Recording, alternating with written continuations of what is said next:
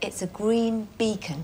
It's a symbol of our commitment to a one planet 2012. I'm sorry, it, it doesn't matter what it's a beacon of if you haven't got any wind. Meanwhile, elsewhere in the building, other wheels are turning. If you look at a two-week period here over the last 10 years, you've got a wind speed of less than 3 kph on a mean average of 8 out of 14 days. But that's like an average. That doesn't mean anything. Yes, it does, actually. That's like saying the average height for a woman is five foot four, okay? How come I'm five foot seven then? Well, that's just daft. You're, you're never five foot seven for a kick-up. Head of Sustainability Kay Hope is discussing plans for the Olympic Park wind turbine, or so called Angel of Leighton, with Head of Contracts Nick Jowett and Head of Infrastructure Graham Hitchens. I'm sorry. I really think this is important. I really think that. No, I- I'm sorry, Kay. I mean, I'm all for saving the planet. Fine, I've no problem with that. But this is like building a very expensive boat in the middle of a desert. Well, I'm sorry, I'm from Yorkshire. It's difficult enough as it is. This is the one thing that makes sustainability visible. Yeah, it's bloody big. If we lose that, I mean, what is 2012 about, basically? Yeah. You know? Yeah.